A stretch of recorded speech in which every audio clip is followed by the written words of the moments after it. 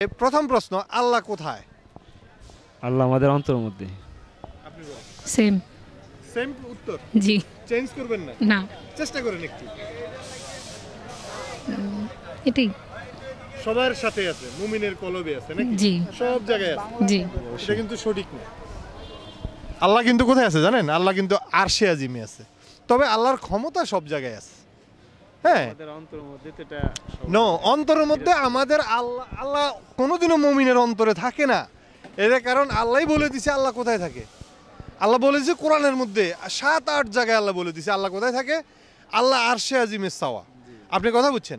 তাহলে আমরা কিন্তু এটা জানি হয়তো অনেকেই মানে আমরাও যে আমরা আমি ছোটবেলায় আমি কিছুদিন আগে মনে করেন আট দশ বছর আগেও আমি জানতাম যে আল্লাহ সবার সাথে আছে। এটা হলো এই বিশ্বাসটাকে জানেন এটা হলো হিন্দুদের বিশ্বাস। যে এই আল্লাহ সবার সাথে আছে মানে হিন্দুদের ভগবান সবাই লোক আছে আমিও ভগবান এরকম মনে করে। এটা হলো কোথা- কার বিশ্বাস জানেন? কোশ্চেনটা করছেন ঠিক আছে? কোশ্চেনটা ওইটাই বুঝাইছেন হ্যাঁ না আল্লাহ কোথায় মানে কি জানেন? আল্লাহ আর সে আপনি আল্লাহর অবস্থান কোন জায়গায়? তাহলে আমি হ্যাঁ, আল্লাহ কোথায় থাকে মানে কি আল্লাহর অবস্থান কিন্তু আর সে আজিমি আল্লাহ সবার সাথে থাকে না। এটা আমরা কারেকশন হওয়ার জন্য ঠিক আছে? জি, জি। তাহলে এইরকম প্রশ্ন যদি সামনে যদি কেউ করে আমরা এটা শুধরে নিলাম কিন্তু আজকে। ঠিক আছে? আচ্ছা। আখেরাতের। এই যে মানুষের আমরা তো মানুষ। আমাদের আখরাতের প্রথম স্টপিস এটা কোন জায়গা এটা হচ্ছে কবর।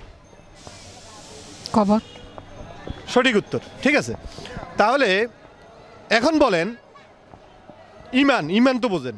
হ্যাঁ ইমানের তো বিভিন্ন শাখা প্রশাখা আছে। তাহলে ইমানের সর্বোচ্চ শাখা সর্বোচ্চ শাখাটা কোনটি? আকলাক ইমানের সর্বোচ্চ শাখা? আমি সঠিক জানি না। আপনি জানেন না। তবে আপনি বলছেন আকাশ। তবে এটা সঠিক নয়। ইমানের সর্বোচ্চ শাখা হলো গিয়া কলেমা। কি? কলেমা। ঠিক আছে? আমরা কিন্তু শিখে গেলাম বিষয়টা হ্যাঁ? তাহলে সর্বনিম্ন শাখা কোনটি? সামনের গিবত করা। আপনি বলেন। সাথে কাউকে শিরক করা। আপনি হয়তো পারবেন বলেন। ওনারটা কিন্তু হয় না আপনি বলেন। মিথ্যা কথা না বলা। এখন ইমানের সর্বনিম্ন শাখা হলো রাস্তা থেকে কষ্টদায়ক বস্তু সরিয়ে দেয়া। ইমানের সর্বনিম্ন শাখা হলো রাস্তা থেকে কষ্টদায়ক বস্তু সরিয়ে দেওয়া। ঠিক আছে আমরা কিন্তু শিখলাম। জি জি ঠিক আছে? আচ্ছা সুরা ফাতেহার আয়াত সংখ্যা কত? আয়ের সংখ্যা হচ্ছে সাত। আপনি বলেন তো। সাত। সঠিক উত্তর। আচ্ছা পবিত্র ধর্মগ্রন্থ আল কোরআনে কয়টি সুরা? একশো চারখানা চুর আছে। আপনি বলেন। একশো চার। একজন একটা বলে আরেকজন কিন্তু ফলো করা কিন্তু ঠিক না। তো সঠিক হলো একশো চোদ্দোটি। ঠিক আছে? এটাকে কারেকশন করে নিলাম আমরা আজকে ঠিক আছে? একশো চারটি না একশো চোদ্দোটি সুরা ঠিক আছে? আচ্ছা আর একটা বিষয় আর একটা প্রশ্ন। নারী এবং পুরুষের টাকনুর নিচে কাপড় পরা কি কার জন্য কোনটা একটু বলো। পুরুষের টাকনুর উপরে পরা হচ্ছে ওয়াজিব আর মহিলাদের টাকনুর নিচে পরা হচ্ছে ওয়াজিব। আচ্ছা এখন টাকনুর উপরে যদি মহিলারা পরে এটা হলো আপনি বলতেছেন ওয়াজিব।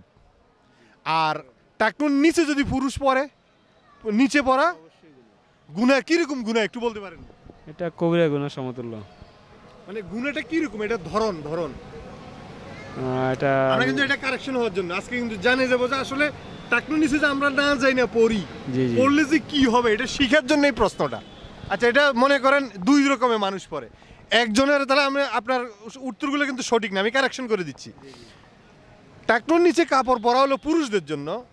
যদি অহংকার করে পরে, কেন? আরে টাকনুর নিচে কাপড় পরলে কি হবে? এরকম একটা অহংকার করে পরে না পড়লে কোনো অসুবিধা নাই। তো মসজিদে ঢুকের সময় কিন্তু বটে। এটাও ঠিক তো, দেখছেন তো? আপনিও হয়তো বটেন। তবে পুরুষের জন্য সর্বাবস্থায় যে কোনো জায়গায় পুরুষের জন্য টাকনুর নিচে কাপড় পরা হারাম। এবং টাকনুর নিচে যদি আপনি কাপড় পরেন, অহংকার করে যদি পরেন, তাহলে আল্লাহ হাসরের মাঠে আপনার দিকে রহমতের দৃষ্টিতে তাকাবে না। তাহলে আপনার দিকে যদি আল্লাহ রহমতের দৃষ্টিতে না তাকায় আপনার অবস্থা কি হবে? এটা আপনি বুঝছেন? আচ্ছা কঠিন না শুধু মহা কঠিন। এরপরে আরও ঘটনা আছে। আর আপনি অহংকার করে পড়েন না। এমনিই পড়েন। আপনি পড়তে অভ্যস্ত। এমনি পড়েন অহংকার নেই। পড়েন আর কি। যেমন নর্মালি এখন পড়তেছেন আপনি অহংকার পড়েন না। তাহলে কি হবে জানেন? যে অংশটা টাকনুর নিচে যাবে ওই অংশটা জাহান নামে যাবে। ঘটনা কি বুঝছেন? তাহলে আপনার যদি এতটুকু অংশ যদি সুইয়ের গুতা লাগে তাহলে এটার ব্যথায় কতটুকু অনুভব করেন? আর আপনার আঙ্গুলটা যদি সারা জীবন জাহান নামে জ্বলে তাহলে আপনার টাকনুর নিচের অংশটা যদি জাহান নামের আগুনে জ্বলে তখন কি আপনি থাকতে পারবেন? স্থির থাকতে পারবেন? তাহলে এই জিনিসটা কিন্তু আমরা আজকে শিখে গেলাম। ঠিক আছে? তাহলে টাকনুর নিচে কাপড় পরা পুরুষদের জন্য হারাম। এবং কি গুণা এটা তো বুঝছেন তো? আজাবটা কীরকম? তাহলে এটা শিখে গেলাম কিন্তু। এটা শুধু শুধু মসজিদে ঢুকার জন্য না সর্বাবস্থায়। ঠিক আছে ভাই? অত্যন্ত ধন্যবাদ। জাজাকাল্লাহ খায়রান।